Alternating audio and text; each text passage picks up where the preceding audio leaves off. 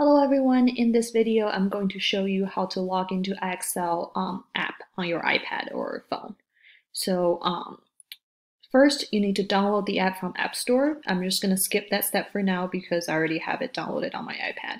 So I'm going to click on IXL here and then click on sign in. And then I'm going to use the username and password I provided. So remember a couple days ago, I sent everyone a document that has all of the login information. Um, so like each student has a page with all the login information. So the IXL login is on there. So I'm going to use Xavier's as an example. So his username is Xavier Bonnet. Okay, and then the password.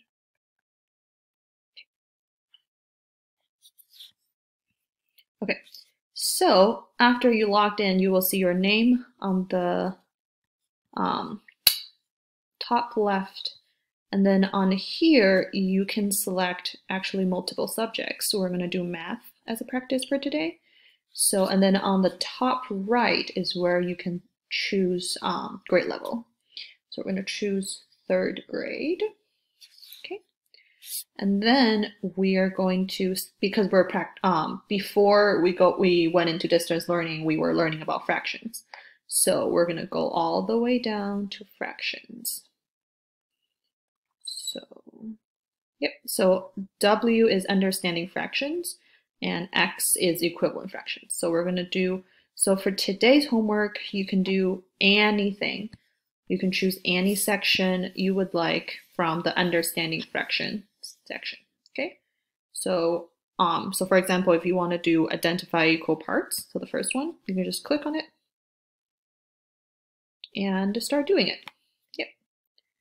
And um, things we've done this multiple times in class and uh, in math groups.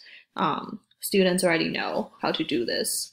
Once once they get logged in and get started, they should already know how to um, navigate through IXL.